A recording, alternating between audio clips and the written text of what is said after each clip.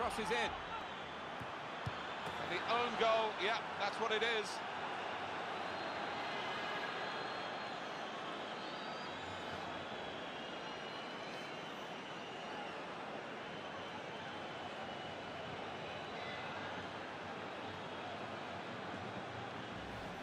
It's his responsibility. It's definitely an own goal. It is. You'd like to try and defend him.